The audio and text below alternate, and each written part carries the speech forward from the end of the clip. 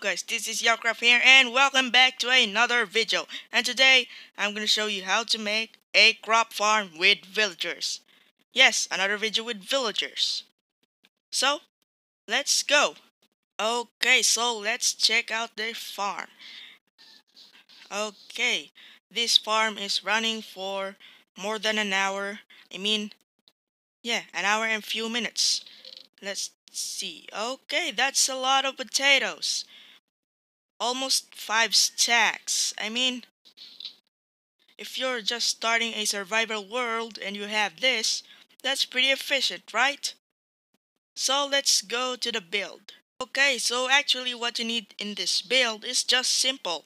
Some dirt if you're gonna build this on the sky, but I don't want to build this up the sky because I'm gonna build this on the ground.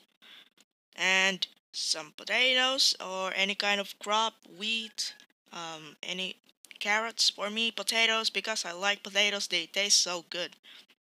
And some poppies, uh, any kind of flower. Of course, your hoe, it doesn't need to be diamond hoe, but because I'm in creative, I'm gonna use a diamond hoe because it's fancy. A composter, a water bucket, some oak fences or any kind of fences or you're just gonna build a wall of blocks around it. So a bed for your villager.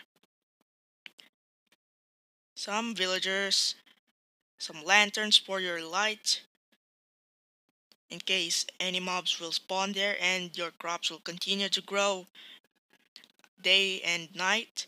And for the bees, you're gonna need a beehive, of course, and a spawn bee. I mean, bees.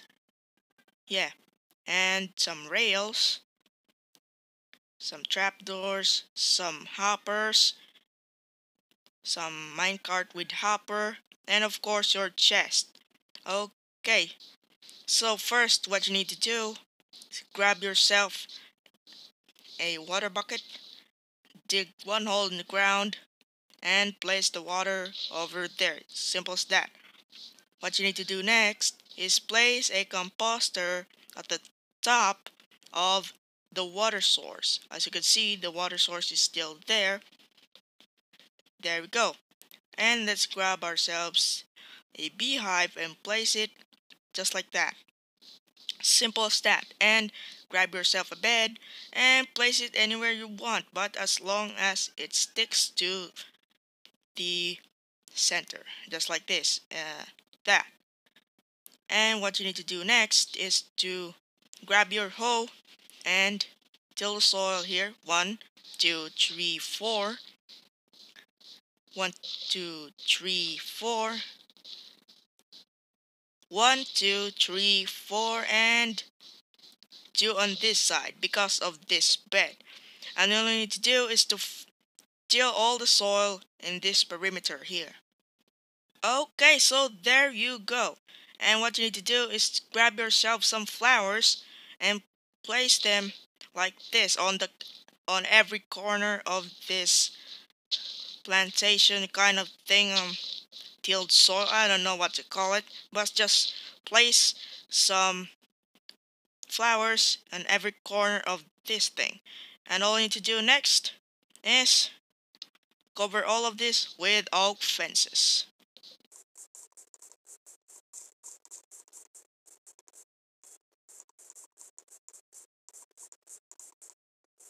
Okay, so there we go. And now what you need to do next is to choose one side. I choose this side and I'm gonna break this fence. Then place more fences around like this. And this is where we're gonna placing the other villager he's gonna be the bait. And now, what you need to do next, grab yourself some hoppers and some chest and then break these two blocks and two more blocks over here forming an L kind of thing and over in this side here place a double chest just like that and a hopper connected to the chest and another hopper connected to the first hopper just like that. Then grab yourself some trapdoors, place it over here, close it just like that, Then place more trapdoors over here. A trapdoor here and another trapdoor over there. There we go. We have a magical flying trapdoor. Yay! Okay. So next what you need to do is to place another trapdoor here. Another trapdoor, another trapdoor over here, and another trapdoor over here. Uh, hello? Okay, there we go. And now break this trapdoor and close that trapdoor, and there we go. We have magical flying trapdoors. Yay! Okay, so next what you need to do is to grab yourself some rails and place them like this. And grab yourself some minecart with hopper and place them at the top of the rails. Just like that. Simple as that. And don't remove the rails or else this minecart uh, will go everywhere. And then grab yourself some lanterns or ugly torches and place them in your build so that no evil mobs will spawn and just kill your villager. Just like that. Fill it in with bees. Yay! Okay, you may be asking me where to get bees. If you see bees in the fields, you break their beehive. Then run away as fast as you can before they sting you and then return to them and grab make sure you have a flower with you so they will follow you. Now bring them in here and then remove the flower in your hand. And there you go. They're gonna start collecting some nectar. Okay that's pretty weird. What are you doing? Okay so next grab your villagers. This this is gonna be so hard if you're in survival but for me, I'm gonna use a spawn villager since I'm in creative mode. One villager here. Make sure it's a farmer. There we go, a farmer. And another villager here. So if you don't know how to transport these villagers, you could use boats or minecarts. Okay, I'm not gonna show that. It's villagers. So annoying. Okay, sorry about that. And grab yourself some potatoes and give them to the villager there we go. They're gonna start planting. And don't expect that you you will have the amount of potatoes we got there in the in your first hour. You should need to wait for a uh, few more minecraft days so this farm will con- will be primed. So what i mean to prime is the farm will look like this. Potatoes will grow very nicely and not as babies. Okay.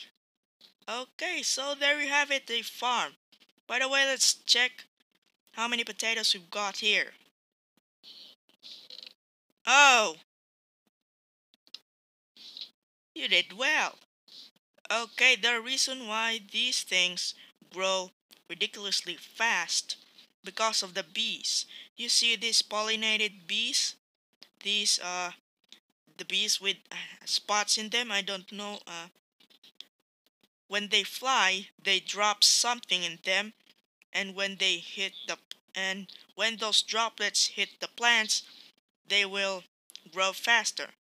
Okay, so please give me an example, okay? Okay, never mind. So, that's it. Thank you so much for watching guys and see you in the next video. Please subscribe if you want more tutorials and goodbye. Yes, goodbye villager.